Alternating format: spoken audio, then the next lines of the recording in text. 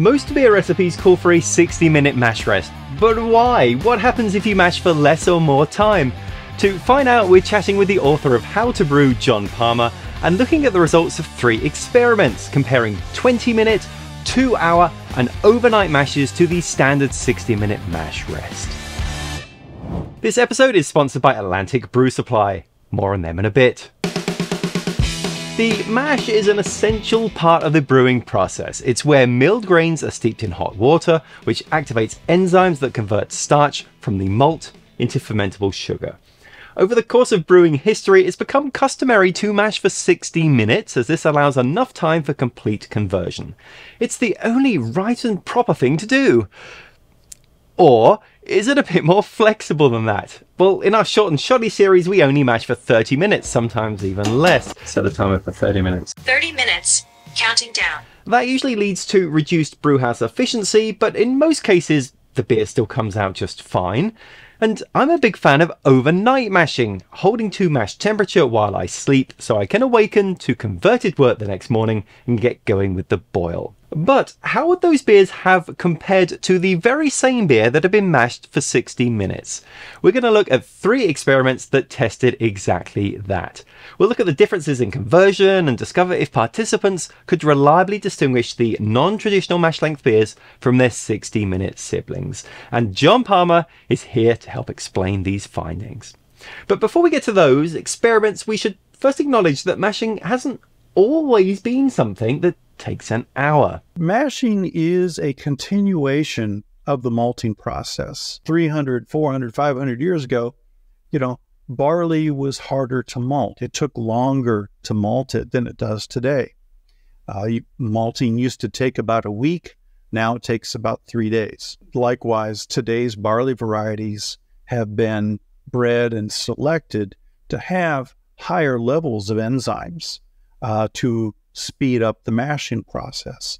The mashing process itself used to be uh, to take longer. By the 1800s, brewers were starting to measure mash temperature and gauging the amount of sugar realized from the mash, and that allowed brewers to find the temperature rest that we know today. The preeminent one being the 150 degrees Fahrenheit or 65 degrees Celsius that allows us to get over the physical gelatinization or solubilization uh, temperature of barley starch that allows these these starches to dissolve and open up in the water and in and allows the enzymes in the malt to now have access to them to convert them from starches to sugars. And when it comes to today's barley varieties that have been bred to have high levels of enzymes, most of the starches will convert in say 15 minutes for example, say 90% after 15 minutes, 95% after half an hour,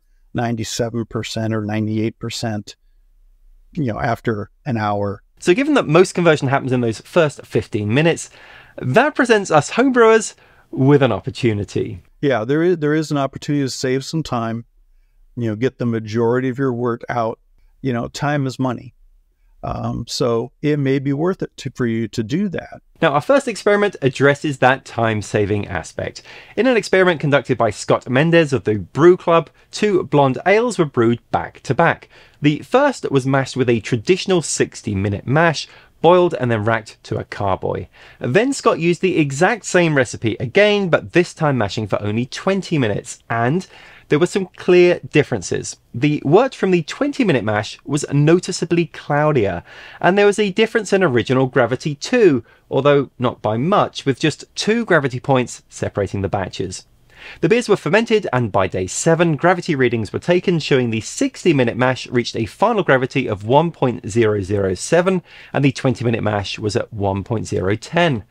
Another week later, the beers were served, and the slight haze in the 20 minute mash was still apparent. That makes sense because one thing that German brewers still do today is the mash out. When you have malts that are less modified, you will have more residual starch. And when you have more retained starch, uh, it is harder to solubilize, harder to get it uh, converted and that's the reason for the German practice of mash out is to take that mash up to 70 degrees Celsius or like 160 degrees Fahrenheit and get that final bit of retained starch to convert.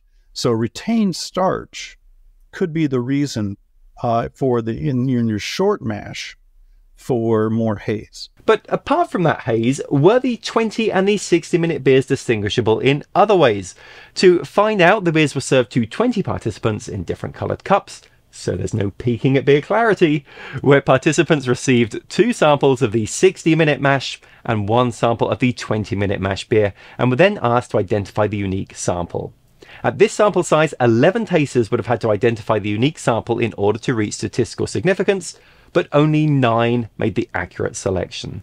So in this instance, the short mash led to a bit less conversion, although certainly not much, and a slightly hazier end product. Based on John's comments, I'd be quite interested to run this test again with a mash out step included. Now, before we get to the next experiment, a quick word about today's sponsor, Atlantic Brew Supply. I've been an Atlantic Brew Supply customer from as soon as I started brewing, and these guys are the real deal. Atlantic Brew Supply offer a huge supply of beer ingredients and equipment, and you can order online at atlanticbrewsupply.com.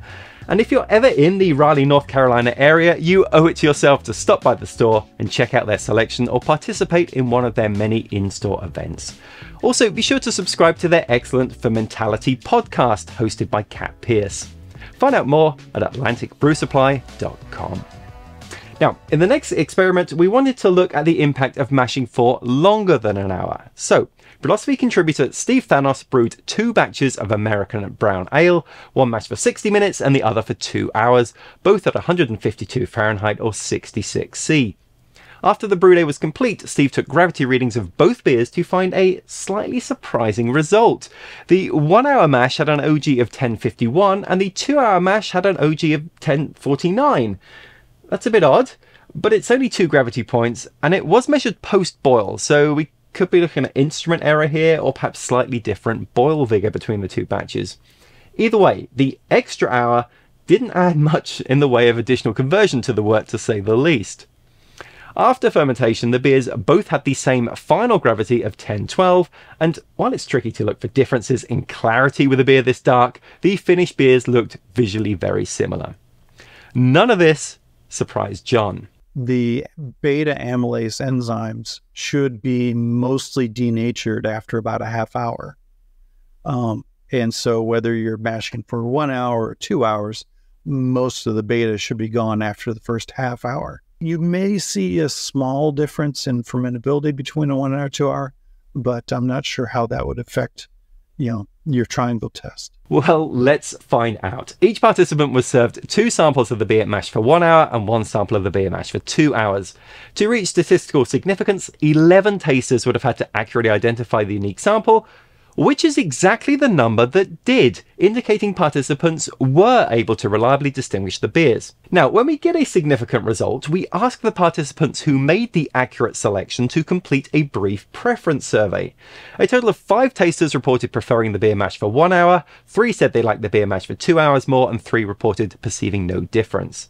Steve himself performed five semi blind triangle tests and correctly identified the odd beer out just two times. Steve said that to his palate, these beers tasted identical. So if there is a difference here, it doesn't seem to be a very pronounced one. And the potential benefits that a longer mash may bring, such as higher conversion or a more highly fermentable wort, did not come to fruition. Now, the last experiment is a favourite of mine, the overnight mash. Former Brülosophy contributor Brian Hall brewed two Pilsners, one mash for 60 minutes and the other overnight, well, overnight and then some, for a total mash length of 15 hours. Now, now my method of overnight mashing is to leave my temperature controller set to mash temperature, where it pulses on and off to retain a consistent level of heat. But Brian was using a propane system, so he mashed in at 152 Fahrenheit, then wrapped his mash tun with insulation to preserve as much heat as possible. 15 hours later, the overnight mash batch had dropped 82 Fahrenheit or 46 Celsius from its original mash temperature. Brian then proceeded to mash a second batch for 60 minutes, completed the boil for both, and took gravity readings to find the overnight mash had an OG of 1054 and the 60 minute mash was at 1049. So better conversion for the overnight mash, and it turned out to have better attenuation too, finishing at 1.008 FG, whereas the 60 minute mash was at 1.011. That does show that some beta amylase survived the one hour mash at temperature. Um, and, uh, and then, you know, as the beer cooled, it survived and was able to break down more of the, uh, the large sugars, otherwise unfermentable sugars that would have survived into the beer. The overall, you know, total extract wouldn't be affected, just the degree of fermentability. Now, the fact that you did have, you know, a, an increase in overall total extract is is also significant. Maybe that reflects, uh, you know, residual starches that did not make it into the first beer uh, that were able to solubilize and, and convert in the longer mash. After cold crashing and fining with gelatin, both beers were crystal clear. In the triangle test, participants were served two samples of the overnight mash beer and one sample of the beer mash for 60 minutes. 12 tasters would have had to select the unique sample in order to reach statistical significance, though only 8 made the correct selection. And Brian himself was only able to select the odd beer out two times out of 7 attempts, which is right in line with random chance. So, if nothing else, I think we can take from these experiments that there truly are viable alternatives to the standard 60 minute mash rest. And I asked John if he sometimes strays from convention on his own brew days. I don't see a reason to go shorter. Um, but then again, I'm, I'm not brewing as often as many people do. Um, and uh, yeah, my kids are grown. So yeah, there's no no distractions from young children to hurry things along. Well, how about you? Let me know in the comments what a standard mash rest is for you. I used a 30 minute mash rest when I brewed a Czech premium pale lager in short and shoddy style, and you can see how that turned out in this video here.